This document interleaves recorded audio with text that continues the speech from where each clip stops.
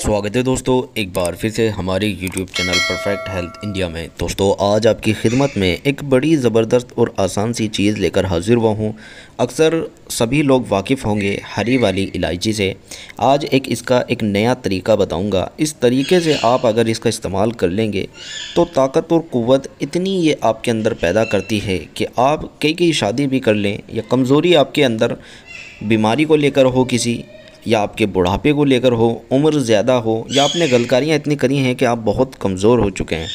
तो आपके लिए बड़ी ज़बरदस्त चीज़ है, बड़ी शानदार है, आप इसका इस्तेमाल करें, इंशाल्लाह आपको बड़ा नफ़ा होगा। सबसे पहले आपसे गुजारिश है, अगर आपने हमारा चैनल सब्सक्राइब नहीं किया तो चैनल को ज़रूर सब्सक्राइब करें, बेल का आइकन ज़रूर दबाएँ, जिससे आपको हमारी नई और ताज़ा वीडियो की अपडेट और नोटिफिकेशन मिल जाएगी। साथ ही मेरी आपसे गुजारिश है, कोई भी चीज़ इस्तेमाल करते हैं तो किसी मुस्तंद हकीम से राय मशवरा लें, अपने मिजाज का चेकअप कराएँ, नुस्खे के बारे में पूछ लें, उसके बाद ही इस्तेमाल किया करें। तो करना आपको क्या है? इसमें सबसे पहले आपको एक गिलास नीम गर्भ दूध लेना है।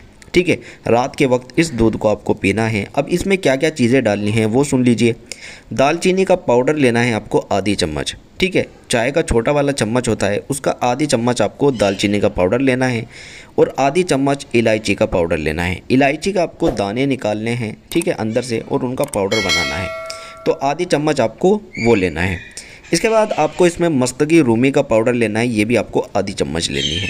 ये सारी चीज़ें आपको आधी आधी चम्मच, हम वज़न ले लें, बराबर बराबर वज़न की ले लें, ठीक है, इन सभी को आपको दूध में डालकर अच्छी तरह मिक्स कर लेना है।